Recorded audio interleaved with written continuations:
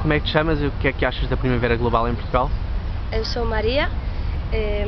Eu acho que, que primeiramente está sendo um espaço muito aberto, que é o melhor para mim nestas, nestas coisas. Né? Eu vim ontem a primeira vez, eu fiquei muito bem-vinda das pessoas que estavam aqui, mas acho que, que para uma cidade tão grande como Lisboa não há muitas pessoas aqui. E acho que está sendo un movimento moito parecido ao movimento eh, de Madrid eh, pode ser que por iso eh, acho que ten que ser máis eh, non, non ten que ser non ten que ser a mesmo que que o movimento en Madrid. Acho que, que aquí ten que ter unhas eh, características diferentes e pode ser que por iso como está tentando ter as mesmas características que Madrid, acho que por iso pode ser que non ten tantas persoas aquí.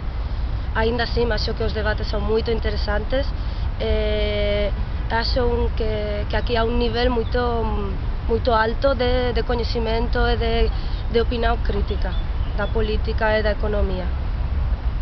Mais,